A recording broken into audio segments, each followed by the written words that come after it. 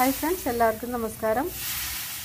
അപ്പോൾ ഇന്ന് അരിപ്പൊടി വെച്ചിട്ട് പെട്ടെന്ന് ഒരു പത്ത് മിനിറ്റ് കൊണ്ട് ഉണ്ടാക്കാൻ പറ്റുന്ന ദോശയും പിന്നെ അതിന് പറ്റിയൊരു നല്ലൊരു ടേസ്റ്റുള്ളൊരു ചട്നിയാണ് കാണിക്കുന്നത് കേട്ടോ. എളുപ്പത്തിൽ ഉണ്ടാക്കാൻ പറ്റുന്ന ഒരു ബ്രേക്ക്ഫാസ്റ്റാണ് അപ്പോൾ നമുക്ക് കണ്ടു നോക്കാം എങ്ങനെയാണ് ഉണ്ടാക്കുന്നതെന്ന്. അപ്പോൾ അതിനു മുന്നേ നമ്മുടെ ചാനൽ സബ്സ്ക്രൈബ് ചെയ്യാത്തവരൊന്നും സബ്സ്ക്രൈബ് ചെയ്യാനും ഫോളോ ചെയ്യാനൊന്നും മറക്കണ്ട.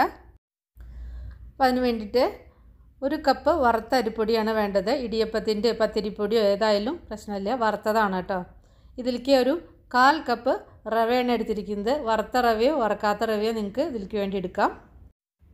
ഇനി ഇതിലേക്ക് ഒരു സവാള വളരെ നൈസായിട്ട് അരിഞ്ഞത് ചേർക്കണം. വലിയ കഷ്ണമായിട്ട് അരിയരുത്. നല്ല നൈസായിട്ട് തന്നെ അരിഞ്ഞെടുത്തത് ചേർക്കുക. ഇനി ഇതിലേക്ക് കുറച്ച് കറിവേപ്പില അരിഞ്ഞതും അതുപോലെ തന്നെ കുറച്ച് മല്ലിയില അരിഞ്ഞതും കൂടി ചേർക്കുക. പിന്നെ ഇതിലേക്ക് ഒരു കഷ്ണം ഇഞ്ചി ചെറുതായിട്ട് അരിഞ്ഞത് നല്ല നൈസായിട്ട് അരിഞ്ഞത് പിന്നെ കുറച്ച് പച്ചമുളക് മൂന്നോ നാലോ പച്ചമുളക് എരിവിന് ആവശ്യമായിട്ടുള്ള പച്ചമുളക് കേട്ടോ. പിന്നെ ഇതിലേക്ക് ചേർത്തിരിക്കുന്നത് ഒരു അര ടീസ്പൂൺ ചെറിയ ജീരകമാണ് ചേർത്തിരിക്കുന്നത്. ചെറിയ ജീരകം നിങ്ങൾക്ക് ഇഷ്ടമല്ലെങ്കിൽ സ്കിപ്പ് ചെയ്യാം ഞാൻ ചേർത്തു എന്നേ ഉള്ളൂ. പിന്നെ കുറച്ച് ചില്ലി ഫ്ലേക്സ് ആണ് ചേർത്തിരിക്കുന്നത്. പിന്നെ അതുപോലെ തന്നെ ഒരു പിടി നാളികേരം. നാളികേരം ഓപ്ഷനിലാണ്. നിങ്ങൾക്ക് വേണ്ടെങ്കിൽ ചേർക്കണ്ട. നാളികേരം ചേർത്ത് കഴിഞ്ഞാൽ ഇത് കഴിക്കുമ്പോൾ നല്ലൊരു ടേസ്റ്റ് ഉണ്ട്. അപ്പോൾ നിങ്ങളുടെ കയ്യിൽ ഉണ്ടെങ്കിൽ മാത്രം നാളികേരം ഒരു പിടി ഒരു വലിയ പിടി നാളികേരം ചേർത്തിട്ടുണ്ട്. ഇനി ആവശ്യത്തിന് വെള്ളം ഒഴിച്ചിട്ട് നല്ല ലൂസായിട്ടുള്ള ബാറ്റർ ആക്കുക. പിന്നെ അതിൽ ഉപ്പ് ചേർത്തിട്ടുണ്ട് കേട്ടോ. ഞാനിപ്പോൾ ഒരു മൂന്ന് കപ്പ് വെള്ളമാണ് ഒഴിച്ചിരിക്കുന്നത് കേട്ടോ. ഇനി ഇത് നന്നായിട്ട് കലക്കിയതിന്റെ ശേഷം ഒരു അഞ്ച് മിനിറ്റ് അവിടെ ഇരിക്കട്ടെ. അപ്പോഴേക്കും ഇതിലേക്കുള്ള ചട്നി റെഡിയാക്കാം അപ്പോൾ ചട്നിക്ക് വേണ്ടിയിട്ട് ഇതാ ഒരു പാൻ അടുപ്പത്ത് വെച്ചിട്ടുണ്ട്. ഇതിലേക്ക് ഒരു അര കപ്പ് നിലക്കടലയാണ് ചേർക്കുന്നത് ഗ്രൗണ്ട് നട്ട് ഇതിനെ നന്നായിട്ടൊന്ന് വറുത്തെടുക്കുക. അതിന്റെ ആ തൊലിയൊക്കെ ഇങ്ങനെ പൊളിഞ്ഞ് വരാൻ തുടങ്ങും. അതായത് ഇതിങ്ങനെ പൊട്ടുന്ന ശബ്ദം കേൾക്കും. അതുവരെ നന്നായിട്ട് ആ പച്ചമണമൊക്കെ മാറുന്ന വരെ നന്നായിട്ടൊന്ന് വറുത്തെടുക്കുക. അപ്പോൾ അതാ നന്നായിട്ട് വറുത്തെടുത്തിട്ടുണ്ട്.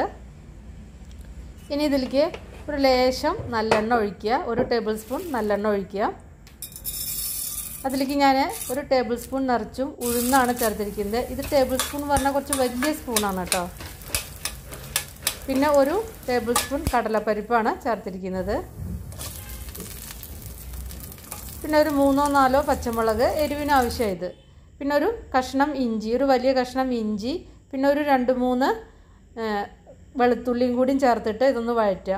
ഈ ഉഴുന്ന് പരിപ്പും കടലപ്പരിപ്പും ഒന്ന് മൂത്തതിന്റെ ശേഷം മാത്രം ഇഞ്ചിയും വെളുത്തുള്ളിയും ചേർത്താൽ മതി. ഇഞ്ചി വെളുത്തുള്ളിയും ചേർത്തിട്ട് കുറേ നേരം വഴറ്റേണ്ട ആവശ്യമില്ല കേട്ടോ. ഒന്ന് ജസ്റ്റ് ഒന്ന് വഴറ്റിയെടുത്താൽ മാത്രം മതി. പിന്നെ അതിലേക്ക് ഒരു കഷ്ണം പുളിങ്ങയാണ്. പുളിയാണ് ചേർക്കുന്നത്. വാളൻ പുളി. അത് നിങ്ങൾക്ക് പുളിക്ക് ആവശ്യമായിട്ടുള്ളത് ചേർത്താൽ മതി. ഞാനിപ്പോൾ ഇത്രേ ചേർത്തിട്ടുള്ളൂ. എനിക്ക് വല്ലാതെ പുളി അത്ര ഇഷ്ടമല്ല അപ്പോൾ ഈ ഭാഗത്തിനായിട്ട് ചേർത്തിട്ടുള്ളൂ. എനിക്കിത് കറക്റ്റായിരുന്നു ഇനി ഇതെല്ലാം കൂടി മിക്സ് ചെയ്യുക. ഞാനിപ്പോൾ ഫ്ലെയിമൊക്കെ ഓഫ് ചെയ്തു. ഇതിനെ ഒന്ന് തണുത്തതിന്റെ ശേഷം അരച്ചെടുക്കുക. നല്ല മയത്തിൽ അരച്ചെടുക്കുക. ഇപ്പോൾ ഇതാ നന്നായിട്ട് അരച്ചെടുത്തിട്ടുണ്ട്. ഇനി ഇതിലേക്ക് ഒന്ന് വറുത്തിടാം. അതിന് വേണ്ടിയിട്ട് വീണ്ടും ഈ സെയിം പാനിൽ തന്നെ കുറച്ച് നല്ലെണ്ണ ഒഴിക്കുക. ഞാനിപ്പോൾ നല്ലെണ്ണയാണ് യൂസ് ചെയ്യുന്നത്. അപ്പോൾ അതിന്റെ ആ ഫ്ലേവർ ഈ ചട്നിക്ക് നല്ല ടേസ്റ്റാണ് നിങ്ങളുടെ കയ്യിൽ നല്ലെണ്ണ ഇല്ലെങ്കിൽ വേറെ ഏതെങ്കിലും എണ്ണ യൂസ് ചെയ്യാവുന്നതാണ്. ഇതിലേക്ക് കുറച്ച് കടുക് ഇടുക. ഒരു സ്പൂൺ കടുക് അതുപോലെ തന്നെ ഉണക്കമുളക് ചേർത്തിട്ടുണ്ട്. പിന്നെ ഇതിലേക്ക് കറിവേപ്പില ചേർക്കുക.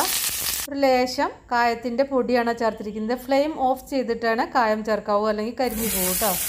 എല്ലാം കൂടി ചേർത്തിട്ട് ചട്നിയിലേക്ക് ഒഴിക്കുക. കുറച്ച് നേരം ഒന്ന് അടച്ച് വയ്ക്കുക അപ്പോൾ ചട്നി റെഡിയായി. നല്ല സൂപ്പർ കോമ്പിനേഷനാണ് ഈ ദോശയുടെ കൂടെ ഈ ചട്നി. ഈ ചട്നി നിങ്ങൾക്ക് ഇഡ്ലിയുടെ കൂടിയും ദോശയുടെ കൂടിയും ഒക്കെ യൂസ് ചെയ്യാം. അത്രയും നല്ല ടേസ്റ്റുള്ള ചട്നിയാണ് കേട്ടോ. അപ്പം ഇനി ദോശ ഉണ്ടാക്കാം. ബാറ്ററൊന്ന് നന്നായിട്ട് ഇളക്കുക. ഞാൻ പറഞ്ഞ പോലെ മൂന്ന് കപ്പ് വെള്ളമാണ് ഞാൻ ഒഴിച്ചിരിക്കുന്നത്. കുറച്ച് ലൂസായിട്ട് പിന്നെ ഈ ദോശയ്ക്ക് ഇങ്ങനെ ഷേപ്പ് ഒന്നും വേണമെന്നില്ല. ഉണ്ടാക്കി എടുക്കാൻ പറ്റിയാൽ മാത്രം മതി കേട്ടോ അപ്പോൾ ഇതാ പാൻ ചൂടായി വരുന്നുണ്ട്. നിങ്ങൾക്കിത് ഏത് പാനിൽ വേണമെങ്കിൽ ഉണ്ടാക്കാം. നോൺ സ്റ്റിക്കോ ഇരുമ്പിന്റെ തവയോ ദോശത്തവയോ ഏതിന്റെ മീത വേണമെങ്കിൽ ഉണ്ടാക്കാം കേട്ടോ അപ്പോൾ ബാറ്റർ വെറുതെ അങ്ങോട്ട് ഒഴിച്ചു കൊടുത്താൽ മതി. ഇപ്പോൾ ദോശക്കല്ലുമ്പിൽ ഉണ്ടാക്കുന്നത് ഞാനതിന്റെ ശേഷം കാണിക്കുന്നുണ്ട്. നിങ്ങൾക്ക് ഏതാ എളുപ്പച്ചാൽ അത് കാണിക്കുക അല്ലെങ്കിൽ നോൺ സ്റ്റിക്ക് പാനില്ലേ അതിലുണ്ടാക്കാം. ഏതിലായാലും പ്രശ്നമില്ല. ഷേപ്പ് നോക്കൊന്നും വേണ്ട. ഷേപ്പിന്റെ മീത കയറി പിടിക്കണ്ട കേട്ടോ. ഷേപ്പ് എങ്ങനെ ഇരുന്നാലും കുഴപ്പമില്ല. നല്ല ടേസ്റ്റ് ഉണ്ടായാൽ മതി.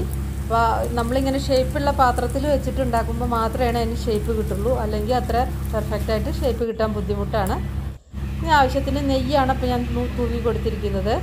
ഒരു വശം ഒന്ന് ഡ്രൈ ആയി കഴിഞ്ഞാൽ അത് ഇളക്കിയെടുക്കുക.